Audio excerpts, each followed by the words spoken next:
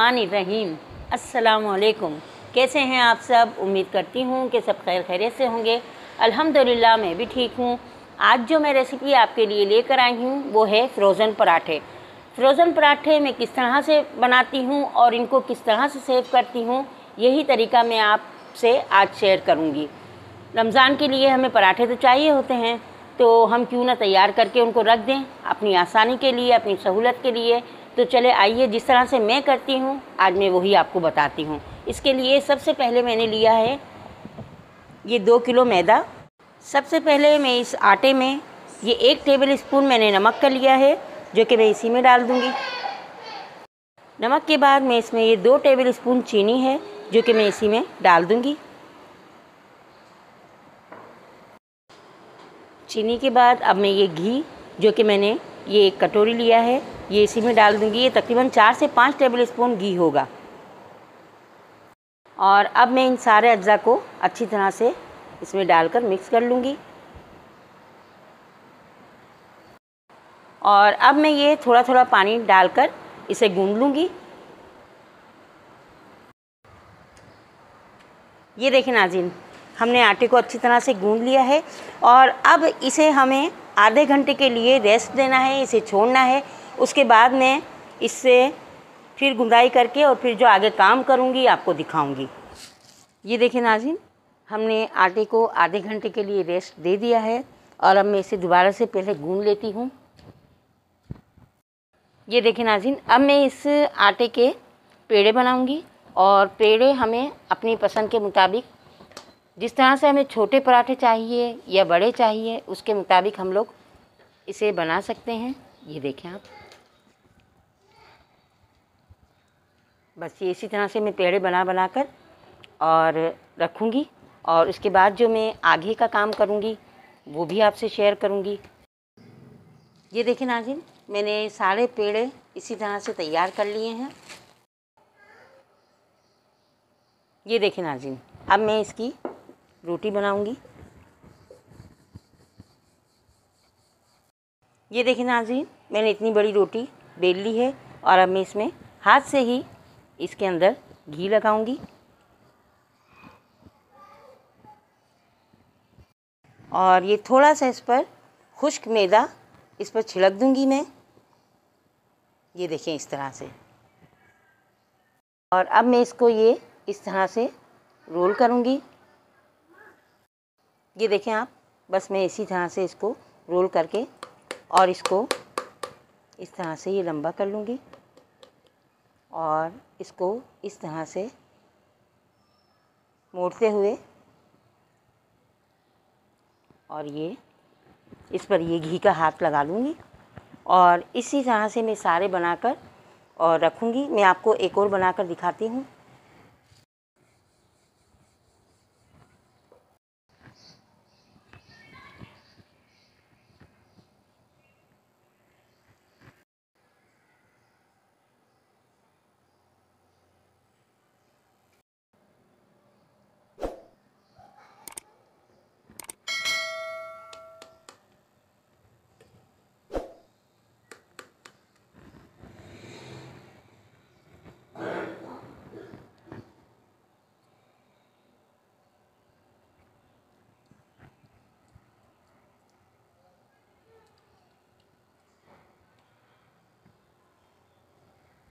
ये देखिए नाजिम अब ये मैं सारे इसी तरह से बनाकर और रखूँगी उसके बाद जो आगे काम करूँगी सारे पेड़े तैयार कर लिए हैं इस तरह से इनको घी लगाकर और अब मैं इनका बेल कर और सेक कर दिखाती हूँ आपको।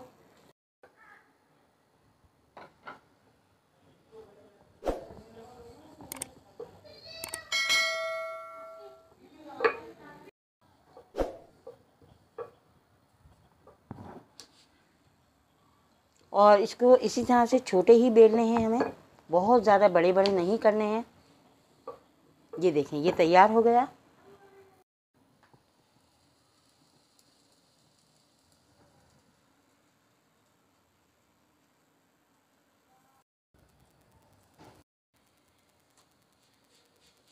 देखें नाजिन मुझे इसे धीमी आँच पर ही पकाना है। और कितना पकाना है, ये भी मैं आपको बताती हूँ।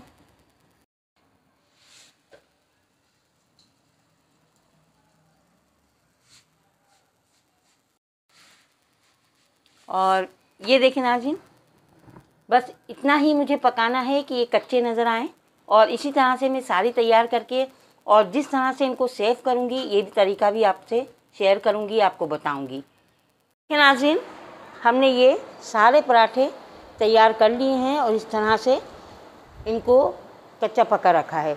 अब मैं जिस तरह इनको सेव करती हूँ, ये आपको दिखाती हूँ। देखिए नाजिन, मैंने ये एक प्लेट ली है और इस पर ये मैंने कपड़ा बिछा लिया जिसमें हम रोटियाँ रखते हैं और अब मैं इन पराठों को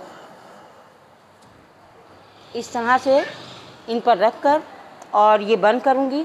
इन ये आपस में चिपकेंगे नहीं पराठे और आपको कोई मुश्किल नहीं आएगी जब आप फ्रीज़र से इनको निकालेंगे और फ्राई करेंगे।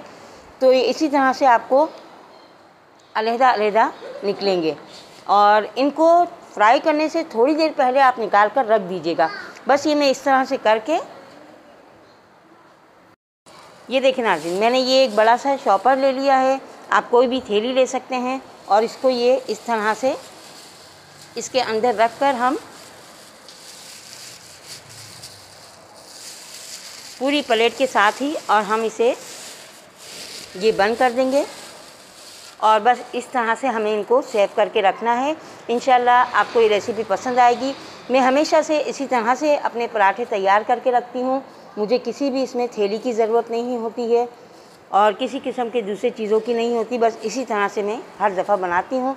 बस यही रेसिपी आपसे शेयर करनी थी मुझे। देखिए नाजीन, अगर आपको मेरा ये तरीका पसंद आए तो आप मुझे कमेंट करके ज़रूर बताइएगा।